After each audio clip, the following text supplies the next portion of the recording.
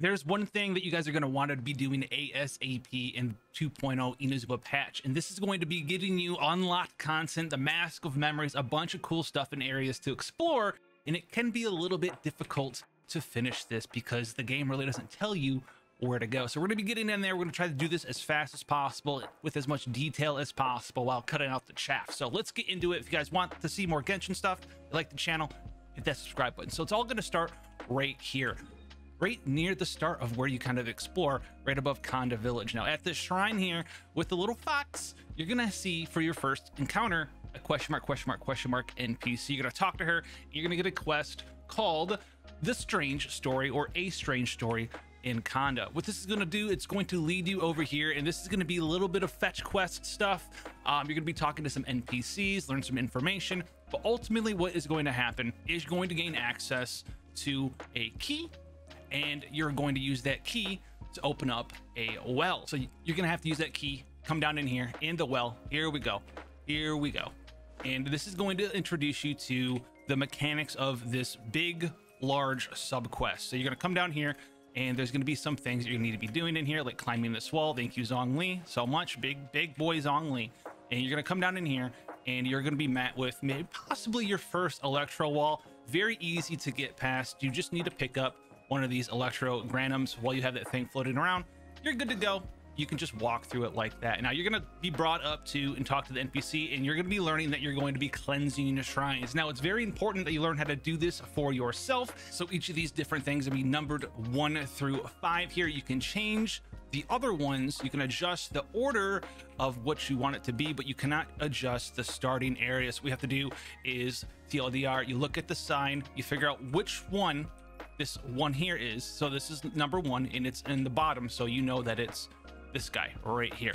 And then you have to just sort of uh, adjust the number. So we'd go one, two, right? That one over there would be three, four, and then five. And you'll light it up and you're gonna be doing more of these things. Now this is gonna lead you to the next part of the storyline quest. It's going to take you into something called the sacrificial offerings. And you're gonna have to learn that you need to do a bunch of this stuff. Okay, so what you're gonna be doing here though is you're gonna have to go northeast of Konda Village. So all you need to do is teleport back to Konda Village out of the well if you so desire, and then start heading northeast up this direction and you'll see exactly where you need to go underneath these gates here. And this is going to take you to the second part of the quest. Now, this is going to be a pretty lengthy one, especially if you're bad at this hide or seek sort of game here. And you're going to see uh, characters named Mysterious Spirits. And the goal here is to talk to these mysterious spirits. And when you talk to them, they'll warp somewhere else. They have this designated pattern.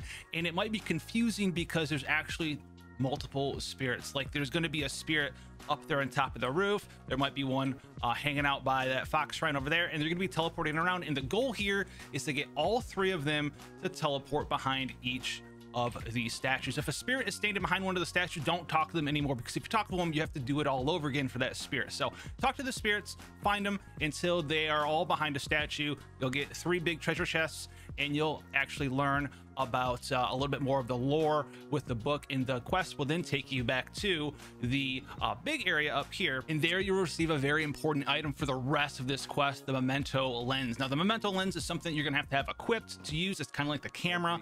And what this does is you're gonna come back here because you're not done yet. You're not done yet. And you're gonna be using the lens on these different uh these will be glowing. Well i already beat it so it's not glowing for me but you'll use the lens and you'll hover over it and it'll unlock certain story modes uh, and a little bit of story content. So if you do that for all of the little uh, Earth Kitsunes, there's gonna be a, a, bunch of them, right? There's like one under there, there's one that's there. Find all the glowing Kitsunes and that is going to give you a shrine key. Basically, it's gonna allow you to cleanse another shrine the way you get your shrine activation is eventually this one will be like, hey man, you want the shrine activator? All right, you'll come over here, you'll hit it with electro, and then the little uh, shrine key will be right down there. Oh, I forgot to activate this guy. Let's see what he got. It's probably gonna give me just a little bit of, a little bit of something, a little bit of something, something. Oh, we'll do that later. Cool, neato. And once you have the item to cleanse said shrine, the shrine is actually, it's a little bit hard to find uh, if you don't really look around everywhere. You have to head down to this lake that's right below where you were and you'll come in here and this is where the next shrine will be. So you're gonna cleanse this shrine, and that's gonna take you to the next part of the subquest. Now, I think you can do this in any order, but these are the order that I did them in. You go to uh, the forest over here, just below where you just were, and you are going to um, walk up here. I think when you teleport in here, you'll hear like, oh, I hear echoes or whisperings of something. There's our friend around, our old friend, the mysterious spirit girl. And what you're to be doing is you're to be making your way up to uh, a statue. I don't think it's this one. You just follow follow the road. Just follow the road. I need to sprint more. Follow the road. And you'll follow this all the way up to your next area. What's a little Tanuki dude? I know, dude. You're part of the subquest. I got you, brother. I know, man. I know. And you'll be walking up this way and I do believe it's actually just off to the left up here and you will find this statue here. You'll fight some enemies, and he'll give you kind of a mini quest to find his three boys right here. Uh, and this one's not very hard to do. They're just kind of behind you. You find them, they run away a little bit, and might teleport and turn into like a torch or something that you need to light on fire, and you'll collect uh, another way to cleanse a shrine. In this shrine, cleansing area is right off by the beach down here. So this one, you'll jump off down this way and uh, one of the little Tanuki dudes will open up a wall for you in the side here, which will be right here, and you'll cleanse. You'll cleanse this shrine. All right. So you'll cleanse this shrine. I know now I'm a statistic, man. Oh no. But you'll cleanse this shrine, and that'll be uh, one of the shrines that you need to do. And uh, basically, this one's a little bit tricky because it plays you know, with a lateral access here. So it's one, two, there's another one up there behind that, behind the tree branch. That's a two. The one in the alcove down there is a three, and that's a four, and you'll be good to go with this shrine. Next area that you're gonna be going for is right around here. If you have the court, you can teleport to it because the area that we're exploring for this shrine also unlocks uh, a little underground area for you to explore as well um, which is pretty cool. You might have seen it from the outside looking in. All the doors are locked. This is how you'll get into that area. So we're going to be going over here and we're going to be heading towards these electro uh, towers, I guess. We'll call them towers right now. And what you need to do here is that button right there will be locked down and you're going to need to find a way to open it. And that's not very hard to do. All you need to do is find all the different locked electro towers and open them up. So these ones will be able to be uh, hit, lit up pretty easily. The other ones, uh, you have to either do a puzzle or maybe fight like a little a little guy for them. So that one is locked behind like a, a battle. And this one over here is locked behind a puzzle. So nothing super insane um, for this part. But what you're going to do after you unlock the uh, button is you're going to click that button. So hit this bad boy right here. And what this does is it allows you to actually climb up here. And previously, this right here was closed off. So you'll be able to get in there now. And this one will be closed off for you. All you have to do though is pop out your little your little scanner 5000 and you'll be able to uh, open up the door by revealing these three buttons. Now, once you open up the three buttons, push the three buttons, this will open up. You'll fall down here and you will have access to, you're like, oh, we don't have the thing for the prayer though. We don't have the way to cleanse it. You'll just click on this. You'll walk in here. You'll smack the, you'll smack the little fox with your lightning attack and that'll give you the thing that you can cleanse it with and there'll be a chest right here for you guys as well. Then you'll do this right here. This will be your prayer area. You'll get in there you'll do that. And then if you come around to the corner here you'll have a puzzle here that you can perform. And what you'll also have is a Seelie up there. I left him just so you that he's chilling out. And then you'll have this underground area here. Now when you get down in here for the first time it's going to be all full of water. You guys might panic. So come in here with uh, max. I don't. Oh yeah, he's dead still. max uh, stamina. And what you can do though is the water will be right at the uh, the ledge or the level of uh, this right here. You'll be able to swim and stand on it for stamina recovery. So that's something that you're going to want to do there. You won't be able to really explore any of this stuff right away, but what you are going to want to do, that's why that rock is still unexplored. I haven't gone through there yet for the chest um, I've just done the story quest. What you're going to do is you're going to come up here and you'll be able to make it up here. You'll be able to open up the gate. And this may be if you were to explore at heart where you saw it for the first time. All of this stuff was underwater. This is all locked off. This was blocked. You'll be able to do that gate right there. And then you'll be able to do that puzzle. There'll be a puzzle right here for you to do. And that'll take away all of the water down here. And you'll be able to explore all of this underground area for some free loots and all that cool stuff. This is very important to do because not only does it unlock this stuff, but that tunnel down there actually leads all the way out to this underground area, which has another domain as well as the perpetual mechanical array and a teleport spot under Inazuma for you guys to get down here as well to uh, continue doing all your cool stuff. I haven't fully explored all this stuff yet. I have fought the guy a couple times. It's pretty fun to fight. Um, but uh, you'll come down here and you'll have access to uh, some more stuff. You'll be able to unlock.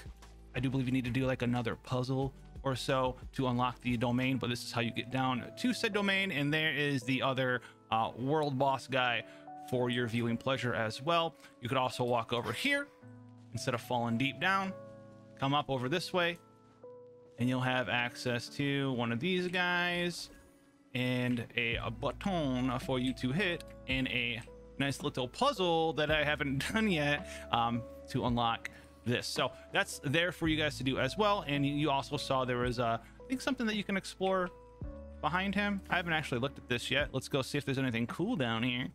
Anything cool down here? Oh, it's the way up and out. Yeah, true. True. Now, the next one that you're going to be heading towards is going to be uh, right off of the Kamisato estate here. So teleport to that and walk your way up here. And you're going to go after this little island right here in front of us. So you see this little island up here. You're going to jump off and this island right below. I guess it's not an island. I guess it's like a little bit of a, I don't know, a plateau, uh, whatever. And you're going to be right here. And this statue won't be here. What you're going to have to do, this guy will be shining. Yeah, shine your shiner. And then you hit him with the electro. I think the game even reminds you for this one that you can get your uh, your sealer with the electro and uh, pick that up. Now, what you're to do right from here is you're to run over there'll be like some treasure chests that you can uh, go ahead and some bad guys to kill right here. You can see the aftermath, the cabbages everywhere. It was a fun time for me. And you're gonna come over here, you're gonna summon the Wave Rider, right? So you summon the Wave Rider, and then you're not going too far with it. I guess if you want to like a, a land walk your way over here, or maybe Mona Dash the whole way, you can do it too. But the Wave Rider's right here, so who cares? And uh, you'll come over here to this island. And what you're going to do with this island here is this is where the shrine's going to be. And this is where the second part of the underground content is going to be revealed. Now, this will be sealed up when you get here, but like always, you're going to have your little boy kind of chilling out right here. One of the little tiny uh, stone uh, earth kitsunes, and it's going to uh, reveal this area after you shine your shiner on them. Uh, big old shiners. And this area is going to take you down to, you've guessed it, yes, the shrine. So grab one of these as it's, you can see the purple around the screen. You'll take damage if you don't have your little uh, your little electro guy with you. So you need your little electro guys, and this is going to persist through this puzzle. So it's going to add a little bit more difficulty for this puzzle here. But don't worry, it's just Clicker McFesta. They're all down here. It's a it's a click fiesta down here. So you'll be doing this shrine here. You'll be done. You'll be good to go. You can also explore, uh, continue to explore down this way. So what you do after you do the shrine, you can continue on, or you can uh, see what else there is to see down here and this is going to be the big seers. So you're going to come up here and you'll be able to do, uh, I think, yeah, up here. You. You'll be able to follow uh, a nice little Seelie all the way up to the twop.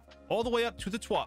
Mr. McSeely is up there. So you'll follow the Seelie up this way, and then you'll get to the top here, and you can just do this nice little teleport thing. There'll be an Electro Oculus there for you, and you'll deliver your Seelie boy right there for you. So that's going to be that shrine. So once you're done with all of those shrines that we just did, you're going to come back to Konda Village. You're going to go right back down the well. You're going to talk to her, and she's going to tell you to come back up to the here, the Grand Narukami Shrine. So you're going to teleport up here, and you're going to jump off a little bit to talk to her. Again, you guys, uh, I'll show you the spot in case, uh, you know, you fall too far and you, you kill yourself. So uh, you're going to come down here, and you're going to be kind of big chilling. Um, the game will sort of tell you where to go, and what she's going to do here for you is she is going to cleanse the water here. I think she's like right there or something. I can't remember, but the game will tell you where to go for this one. And you're gonna talk to her, and you're gonna come down here for the final grand fight here. So I'm gonna leave uh, no spoilers here for you guys, uh, but you're gonna come down here.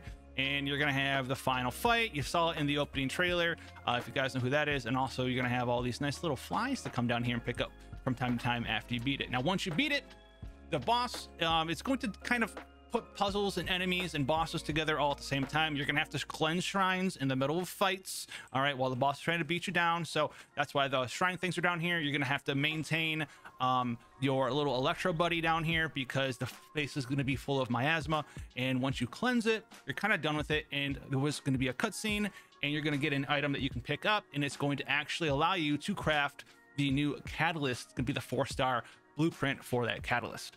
And here it is, the Hakushin ring. Now don't confuse yourselves. The blueprint isn't actually called a blueprint in your inventory. It's actually a mask and you will use it and then it'll allow you to learn the recipe for the ring. Hopefully that didn't take too much of your time. It took me a couple hours to do all of this stuff between the cutscenes and the back and the forth and learning how to do it for the first time myself and kind of figuring everything out mostly on my own. It was fun. I enjoyed it. If you guys want to see more stuff for Genshin Impact, make sure you subscribe to the channel, like that, and comment for the algorithm gods, and I'll see you in the next one.